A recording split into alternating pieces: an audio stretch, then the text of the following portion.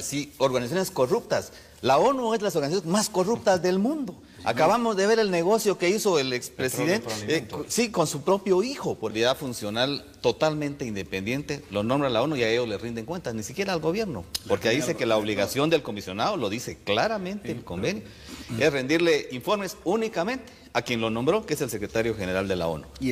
Entonces, todo el sometimiento de la autoridad pública en Guatemala a este organismo internacional es evidente. Entonces, así no se puede, no se puede. Que vengan asesores, por supuesto. ¿Y quién no quiere terminar con el crimen? Por supuesto. Lo que no queremos es pasar por encima de la Constitución y sobre todo destruir un incipiente Estado de Derecho. Hay que fortalecer. Se dice que el asesino es lo que ahí dice que es.